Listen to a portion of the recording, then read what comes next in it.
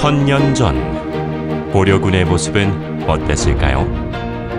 발굴된 유물과 기록을 통해 귀주대첩 당시의 고려군을 재현했습니다. 고려시대부터 남성들은 외출할 때 모자를 즐겨 착용했습니다. 물라거는 고려인 특유의 모자 복식으로 조선시대 초까지도 유행했습니다.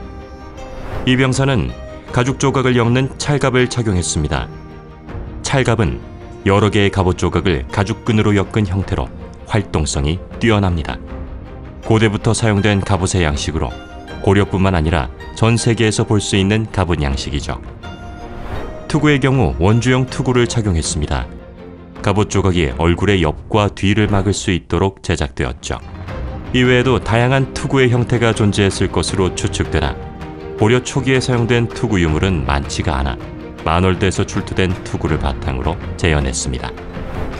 허리띠는 현대인이 사용하는 지금까지도 형태와 역할이 크게 바뀌지 않았습니다. 병사들은 허리띠에 자신이 필요한 장구류들을 착용했습니다. 병종과 관계없이 다양한 무기들을 휴대하기 위해선 허리띠는 필수적이었습니다. 큰 고리 자루칼은 삼국시대부터 사용된 칼의 형태입니다. 칼자루에 큰 고리가 있는 것이 특징입니다. 검과 도는 모든 병종들이 애용하는 부무장이었습니다.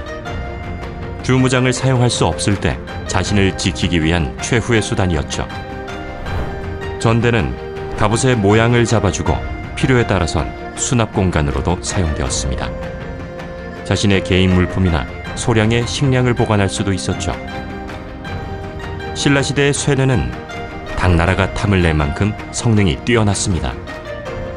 연노 혹은 수노라고 불리는 이 쇠뇌는 화살을 연속으로 발사할 수 있는 장치를 장착했습니다.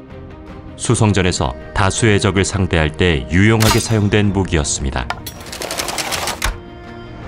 지금까지 귀주대첩 당시 고려군의 복식을 알아봤습니다. 시청해주셔서 감사합니다.